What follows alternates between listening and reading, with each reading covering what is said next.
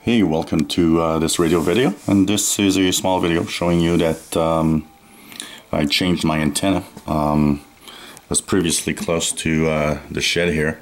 So my VHF antenna, which is that little mobile thing right there at top. So this is for uh, 30 megahertz and up on my ICOM. And um, on the other side now, I've got this uh, interesting wire here that's uh, just going there. Splits right there in the middle and one goes to the tree right there. The other one goes to the fence down there. So um, I'll be testing that to see uh, if it, it, performs well.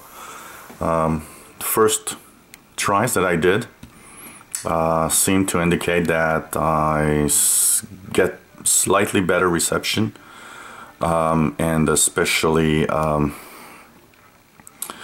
around uh, the 31 and 25 meter band it seems to be a little less noisy and signals seem to be a better.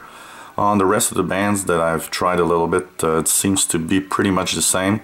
The noise level stayed I would say the same all across the band. Uh, being in the middle of a city uh, I will not have zero noise. Um, I will always have like S4, S3, S4, S5 noise. Uh, this is the general noise we have nowadays, uh, especially for a city dweller. So, uh, just a quick video to show you my uh, new positioning of my antenna for HF radio listening, and uh, of course, I'll have videos showing you uh, what we hear and what it sounds like. So uh, thanks for watching. Bye bye.